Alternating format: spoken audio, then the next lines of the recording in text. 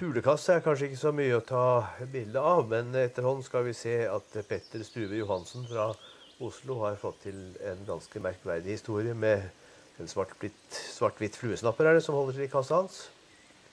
De har det travelt med å mate ungene, men det er andre også som er ute i et helt annet ærend.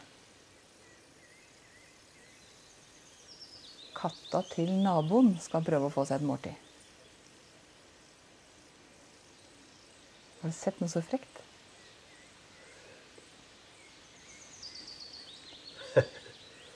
Den er inne helt opp til bogen, ser du det? Ja, her er det bare om å gjøre å lage fuglekasser med små nok åpninger, og ikke minst langt nok ned til fugleungene. Slik at ikke det rovdyret lykkes. Ja, for et rovdyr, det er katta. Det tror jeg man skal ha klart for seg. På Snarum i Buskerud har han Arnt Berget katta si. Men der har han også en fôringsplass for fugl, og da kan vi jo bare gjette hva katta prøver på.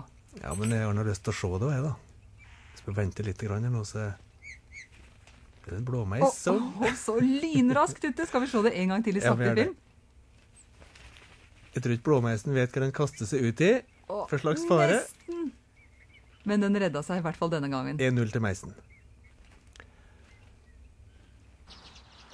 Vi runder av dagens serievideo med en mislykket jakt. Elisabeth Overvik fra Stjørdal hygger seg med å filme flokk gråsissik ved fugledammen, da en ny aktør dukker opp.